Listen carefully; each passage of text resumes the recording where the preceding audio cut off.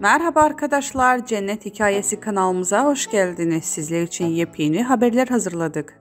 Kerem Bürsin Hande Erçel ile ilgili son hamlesiyle bir devri kapattı. Ayrılık haberleriyle gündemden düşmeyen Kerem Bürsin ile Hande Erçel cephesinde yeni bir gelişme yaşandı. Ayrılıq haberlərinin ilk günlərində sosial media hesablarında bir-birini takip etməyə davam edən çiftdən Hande Erçel keçdiyimiz hafta Kərəm Bursini takipdən çıxarmışdı. Kərəm Bursin isə Hande Erçeli takip etməyə davam ediyordu. Ancaq yakışıqlı oyuncu cephesində də durum dəyişdi. Kərəm Bursin də eski sevgilisini Instagramdan takip etməyi bıraktı. Kərəm Bursin bu hərəkəti ikilinin hayranlarına bir devir kapattı dedirtdi. Bizden bu kadar arkadaşlar. Videoların devamını gelmesini istiyorsanız da kanalımıza abone olmayı unutmayalım. Hoşçakalın.